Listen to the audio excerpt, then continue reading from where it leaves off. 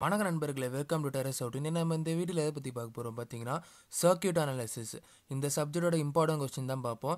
இப்போ வந்து உங்களுக்கு இந்த சர்க்கியூட் அனாலிசிஸ் வந்து ரொம்ப இம்பார்ட்டண்டான சப்ஜெக்ட் எதனால் சொல்கிறேன் பார்த்தீங்கன்னா உங்களுக்கு வந்து இது four credit subject four credit subject ஆகும்போது நீங்கள் இதில் நல்ல மார்க் வாங்கினீங்கன்னா அதாவது ஒரு ஏ ஏ ப்ளஸ் கிரேட் வாங்கினீங்கன்னா உங்களுக்கு ஜிபிஏ ஜிபிஏ இன்க்ரீஸ் ஆனாலே உங்களுக்கு சிஜிபியும் இன்க்ரீஸ் ஆயிரும். அதான் உங்களுக்கு ரொம்ப இம்பார்ட்டண்டான சப்ஜெக்ட் சர்க்கியூட் அனாலிசிஸ் இந்த சர்க்கியூட் அனாலிசிஸ் சப்ஜெக்ட் நிறையா பேர் கஷ்டம்னு நினைக்கிறாங்க. இது எதனால கஷ்டம் அப்படின்னு ஸ்டூடெண்ட்ஸ் நினைக்கிறாங்க பார்த்தீங்கன்னா உங்களுக்கு இந்த சப்ஜெக்ட் ஃபுல்லாக ப்ராப்ளம் ப்ராப்ளம் கேட்டாலே நிறைய பேருக்கு பயமாக இருக்கும். ப்ராப்ளமேட்டிக் சப்ஜெக்ட்னாலே ரொம்ப கஷ்டம் அப்படின்னு நினச்சிருவாங்க. அந்த மைண்ட் செட்டப் தான் ஸ்டூடெண்ட்ஸு கிடைக்குது.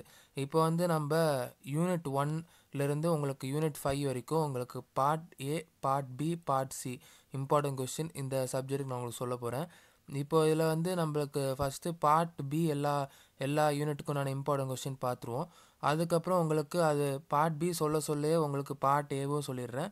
அதுக்கப்புறம் உங்களுக்கு ஃபைனலாக உங்களுக்கு பார்ட் சி இம்பார்ட்டன்ட் கொஸ்டின் சொல்கிறேன் இப்போ வந்து உங்களுக்கு unit one part B important question பார்ப்போம். உங்களுக்கு வந்து இந்த சப்ஜெக்டில் இப்போமே நான் உங்களுக்கு சொல்லிடுறேன். உங்களுக்கு தேரி பேஸ்டு கொஸ்டின் ரொம்ப கம்மி தான். உங்களுக்கு நிறைய ப்ராப்ளமேட்டிக் இம்பார்ட்டண்டான டாபிக்ஸ் தான். அதில் ரொம்ப இம்பார்ட்டண்டான டாபிக்ஸ் எது அப்படின்ட்டு உங்களுக்கு கரெக்டாக உங்களுக்கு இந்த வீடியோவில் சொல்லியிருக்கேன். நீங்கள் வந்து எல்லா இம்பார்ட்டண்டான அதாவது எல்லா ப்ராப்ளம் பேஸ்டு டாபிக்ஸையும் படிக்க தேவையில்ல. கரெக்டாக இந்த வீடியோவில் சொல்கிறத மட்டும் நீங்கள் ஃபாலோ பண்ணாலே நீங்கள் இந்த சப்ஜெக்டில் உங்களுக்கு பி ப்ளஸ்க்கு மேலே கிரேட் வாங்கலாம். B plus A A plus கூட வாங்கலாம். நீங்கள் அதாவது கரெக்டாக ப்ராப்ளம்லாம் சால்வ் பண்ணால் இப்போ வந்து உங்களுக்கு அதாவது கரெக்டாக நான் சொல்கிற கைடன்ஸை நீங்கள் ஃபாலோ பண்ணால் நீங்கள் ஏ ப்ளஸ் கிரேடே வாங்கலாம் இந்த சப்ஜெக்டில் அதாவது சர்க்கியூட் அனாலிசிஸ் சப்ஜெக்டில் இப்போ யூனிட் ஒன் இம்பார்ட்டன்ட் கொஸ்டின் பார்ப்போம். உங்களுக்கு வந்து ஃபஸ்ட்டு நான் உங்களுக்கு தேரி பேஸ்டு இம்பார்ட்டன்ட் சொல்லிடுறேன். Fundamentals of cut set matrix fundamentals of cut set matrix ரொம்ப இம்பார்ட்டண்டான தேரி பேஸ்டு அதுக்கப்புறம் உங்களுக்கு procedure for mesh current method and node voltage method இந்த ரெண்டுமே தனித்தனி question procedure for mesh current method தனி கொஸ்டினு அதுக்கப்புறம் நோட் வோல்டேஜ் மெத்தட் தனி கொஸ்டினு அதாவது அதோட ப்ரொசீஜர்ஸை எழுதுறது அது ஒரு எயிட் மார்க்கு கேட்குறாங்க அதுக்கப்புறம் பார்த்தீங்கன்னா உங்களுக்கு வந்து அதாவது இப்போ நான் சொல்கிறது வந்து உங்களுக்கு டூ மார்க்ஸ் பேஸ் பண்ணி இம்பார்ட்டனு அதுக்கப்புறம் உங்களுக்கு வந்து பார்ட் பி வைஸ்லையும் இம்பார்ட்டன் இப்போ சொல்ல போகிறது அதாவது graph tree cut set tie set twig அதுக்கப்புறம் உங்களுக்கு links incident matrix reduced incident matrix duality dual network இது எல்லாமே உங்களுக்கு வந்து ஃபோர் மார்க்ஸ்க்கு நீங்கள் படிச்சுக்கோங்க. எதனால இது எல்லா டாப்பிக்குமே நான் சொன்னேன் பார்த்தீங்கன்னா நீங்கள் வந்து இந்த எல்லா டாப்பிக்குமே அதாவது உங்களுக்கு எக்ஸாம்ஸில் இந்த மாதிரி கூட கொஸ்டின் கேட்குறாங்க அதாவது இதில் இதில் ஒரு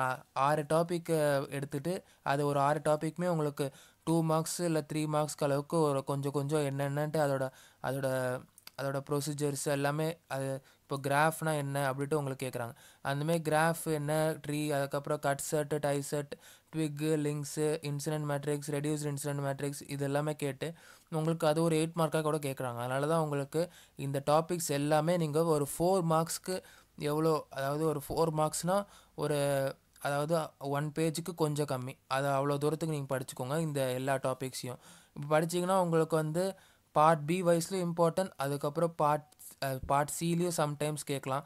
அதுக்கப்புறம் பார்ட் ஏ வைஸ் நானாக கன்ஃபார்மாக சொல்லுவேன் பார்ட் ஏ பார்ட் பியில் உங்களுக்கு இந்த இந்த எல்லா டாப்பிக்குமே படிச்சிங்கன்னா உங்களுக்கு கன்ஃபார்மாக யூஸ் ஆகும். எதனால் சொல்கிறேன் பார்த்தீங்கன்னா உங்களுக்கு உங்களுக்கு பார்ட் பி கொஸ்டினில் ஒரு கொஸ்டின் பேப்பர் செட் பண்ணுறாங்கன்னா ஒரு அதாவது ரெண்டு ஆப்ஷன் இருக்கும். இது அல்லது இது. அப்போ வந்து இது அல்லது இதில் வந்து உங்களுக்கு ஒரு ஒரு இதில் ஏபி ஏபிட்டு இருக்கும்.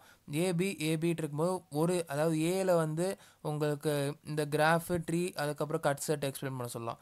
அது வந்து ஒரு சிக்ஸ் மார்க்ஸ் கேட்குறாங்கன்னா மீதி அதாவது பி வந்து உங்களுக்கு ஒரு ப்ராப்ளமாக இருக்கும். அந்தமாரி இருந்ததுன்னா நீங்கள் அட்டன் பண்ண முடியாமல் அதாவது முழு மார்க்கை நீங்கள் எடுக்க முடியாது.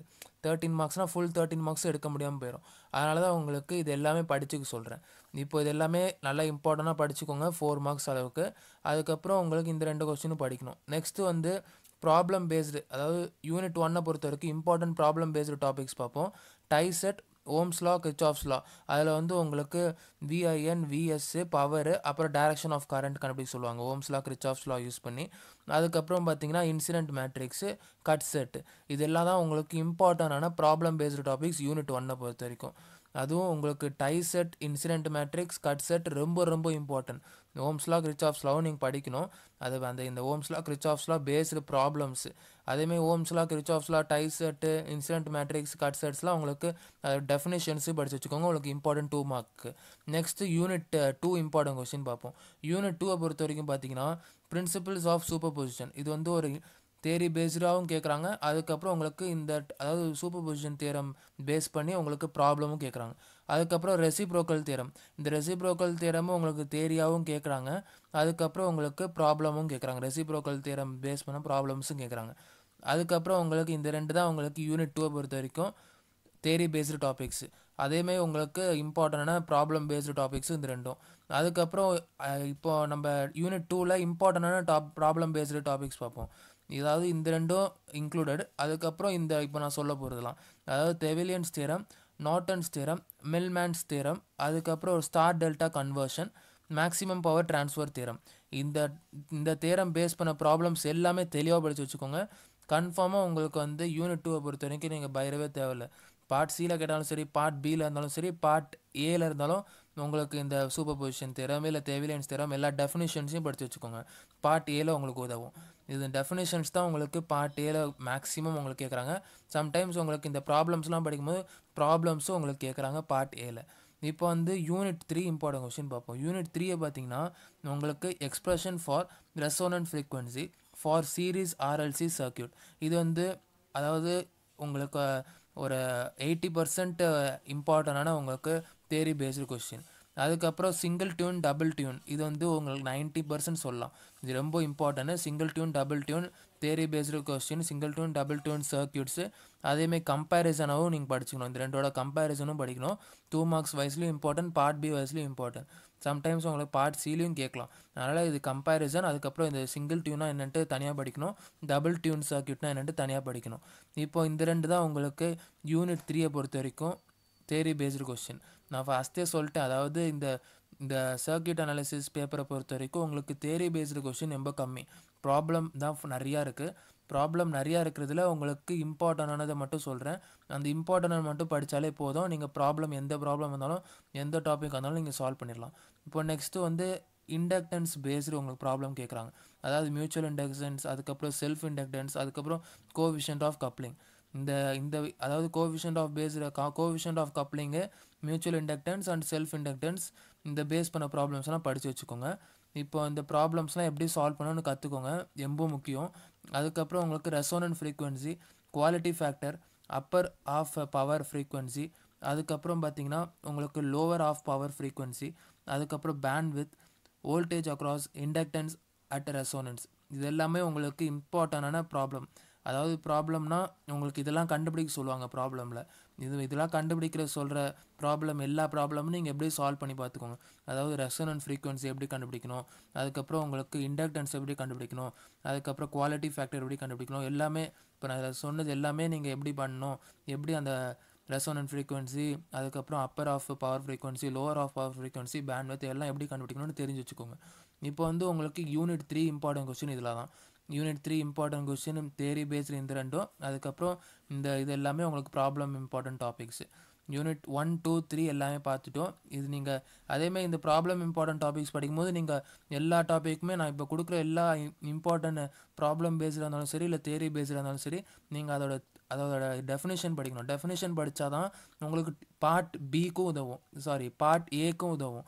அப்போ வந்து உங்களுக்கு பார்ட் ஏ பார்ட் பி இப்போ வரைக்கும் உங்களுக்கு ஒன் டூ த்ரீ மூணு யூனிட்டுக்கு சொல்லிட்டேன். இப்போ வந்து உங்களுக்கு யூனிட் ஃபோருக்கு நீங்கள் பார்ட் பி இம்பார்ட்டன்ட் கொஸ்டின் பார்ப்போம். Natural response forced response transient response இது எல்லாமே உங்களுக்கு தனித்தனியாக உங்களுக்கு எயிட் மார்க்காகவும் கேட்கலாம். அப்படி இல்லைனா கம்பைன் பண்ணி எயிட் மார்க்காக கேட்கலாம். அதனால் நீங்கள் இந்த மூணுமே நல்லா தெளிவாக படித்து வச்சுக்கோங்க. நெக்ஸ்ட்டு வந்து step response of RL and RC அதாவது step response of RL and RC and பர்ஃபார்மன்ஸும் கேட்பாங்க. அண்ட் இட்ஸ் பர்ஃபார்மன்ஸ் அப்படின்ட்டு கேட்பாங்க கொஸ்டின் இது ரொம்ப இம்பார்ட்டண்டான தேரி பேஸ்டு இந்த ரெண்டு தான் உங்களுக்கு யூனிட் ஃபோரை பொறுத்த வரைக்கும் தேரி பேஸ்டு இம்பார்ட்டன்ட் நெக்ஸ்ட்டு பார்த்தீங்கன்னா உங்களுக்கு யூனிட் ஃபோரில் ப்ராப்ளம் அதாவது ப்ராப்ளம் டாபிக்ஸ் எப்படிலாம் இருக்கும் அப்படி பார்த்தீங்கன்னா வோல்டேஜ் அக்ராஸ் ரெசிஸ்டர் அதுக்கப்புறம் இண்டக்டர் கரண்ட் டிரான்சியன்ட் அதுக்கு கரண்ட் டிரான்சியன்ட்டு அது வந்து உங்களுக்கு அதாவது voltage based voltage across resistor voltage across inductor இது ரெண்டுமே உங்களுக்கு இந்த மாதிரி கேட்பாங்க. அதாவது வோல்டே ஒரு சர்க்கிட் கொடுத்துருவாங்க. அதில் வோல்டேஜ் அக்ராஸ் ரெசிஸ்டர் என்ன வோல்டேஜ் அக்ராஸ் இண்டக்டர் என்ன அப்படி கேட்பாங்க. அதுக்கப்புறம் கரண்ட் டிரான்சியன்ட்டு அது பேஸ் பண்ண ப்ராப்ளம்ஸு அதுக்கப்புறம் கரண்ட் வோல்டேஜ் பேஸ் பண்ண ப்ராப்ளம்ஸு கரண்ட் வோல்டேஜ் பேஸ் பண்ண ப்ராப்ளம்ஸ்லாம் ஒரு சர்க்கிட் கொடுத்துருவாங்க. அதில் வந்து உங்களுக்கு கரண்ட்டோட ஃப்ளோ எப்படி? அந்தமாரி கரண்ட் பேஸ்டு சர்க்கியூட் ப்ராப்ளம்ஸ் அதாவது உங்களுக்கு யூனிட் ஃபோர் நோட்ஸ் வச்சுருந்தீங்கன்னா கரண்ட் பேஸ்டு சர்க்கியூட் ப்ராப்ளம்ஸ் நீங்களே பாருங்கள் ரொம்ப ஈஸியாக தான் இருக்கும். ரொம்ப கஷ்டம்லாம் பட தேவையில்ல. ரொம்ப ஈஸி தான். இந்த யூனிட் ஃபோரை பொறுத்த வரைக்கும் ப்ராப்ளம் ரொம்ப ஈஸியாக தான் இருக்கும். யூனிட் ஃபைவ் இன்னும் ரொம்ப ஈஸியாகவே இருக்கும். யூனிட் ஃபைவ் பேஸ்டு இம்பார்ட்டன்ட் பார்த்தீங்கன்னா உங்களுக்கு கேரக்டரிஸ்டிக்ஸ் ஆஃப் உங்களுக்கு இது ஒன்று தான் அதாவது characteristics of Z Y H parameters இந்த இதோட கேரக்டரிஸ்டிக்ஸை நீங்கள் எழுதணும்.